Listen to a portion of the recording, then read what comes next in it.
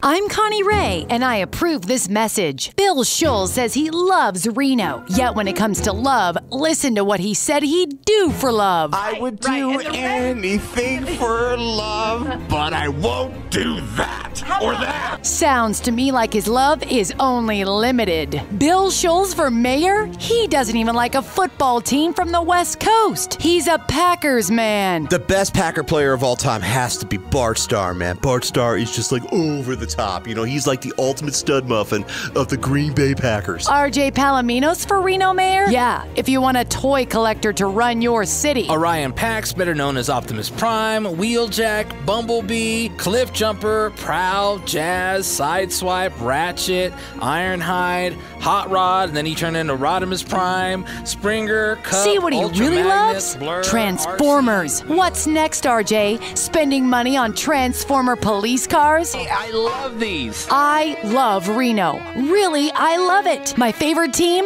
the Reno Aces. You can find me walking the stadium with a beer in my hand and smooching on Archie all season long. That's real Reno love. What this city needs is love.